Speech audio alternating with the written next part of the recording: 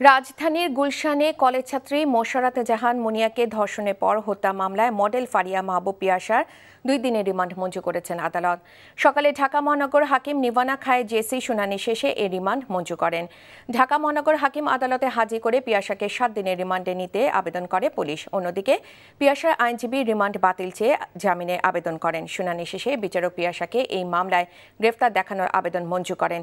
একই সঙ্গে জামিন আবেদন না মঞ্জুর করে দুই দিনের রিমান্ড মঞ্জুর করেন।